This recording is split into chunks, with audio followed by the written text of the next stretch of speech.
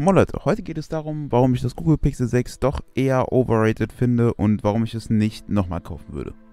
Der erste Grund sind definitiv die Updates und die ganzen Softwarefehler, die es mit dem Pixel gerade zu Release gab. Falls irgendjemand das nicht mitgekriegt hat, es gab einfach nur hunderttausende Bugs und es kamen immer, immer wieder neue auf. Die wurden zwar teilweise behoben, aber ich stolpere immer wieder bei der Benutzung von meinem Pixel über solche Softwarefehler und nach so vielen Monaten nach Release sollten eigentlich die meisten Bugs behoben sein, sind sie aber leider nicht. Das ist auf jeden Fall schon mal sehr enttäuschend. Der zweite Grund sind meiner Meinung nach die Kamera, denn in vielen Reviews, die ich mir angeschaut habe und generell war das Klima um die Kamera einfach sehr, sehr gut. Und wenn ich mir jetzt die Kamera angucke, dann denke ich mir, ja, die sieht ganz gut aus, aber in dem 600 Euro Handy müsste eigentlich schon noch besser sein.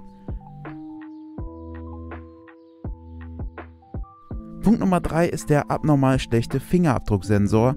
Und wirklich, ich mag ihn auf so vielen Ebenen nicht, denn er ist super langsam, ungenau. Und wenn man ihn einfach mit anderen führenden Handyherstellern vergleicht, dann gibt es in günstigeren Handys viel schnellere und bessere respondende Fingerabdrucksensoren. Und das darf eigentlich auch nicht sein.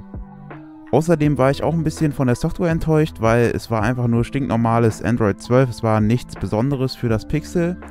Und äh, ich kann mir auf jeden Fall vorstellen, dass der Hype, der um das Pixel gemacht wurde, meine Enttäuschung so ein bisschen vergrößert habe, weil die ganzen Reviews, die ich mir angeguckt habe, waren extrem positiv. Beispielsweise I Know Review, der hat das Ding ja wirklich schon noch hochgelobt. Und ich muss halt sagen, ja, es ist halt okay, aber es ist nicht gut.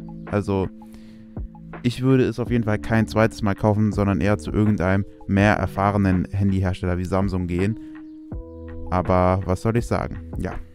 Das war soweit, warum ich das Pixel 6 nicht wieder kaufen würde. Falls ihr auch noch Gründe gegen das Kaufen eines Pixels habt, dann schreibt sie mir gerne in die Kommentare. Ich werde sie anpinnen.